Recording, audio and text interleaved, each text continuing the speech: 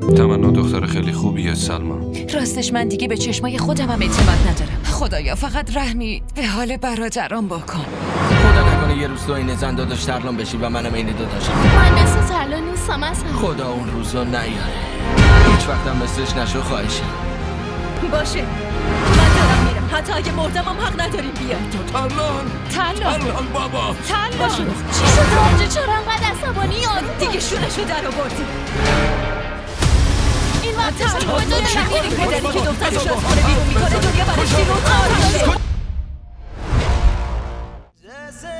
این ویدیو رو like کنید کانالمون رو subscribe کنید تا از سریال های جدیدمون هم آگاه باشید.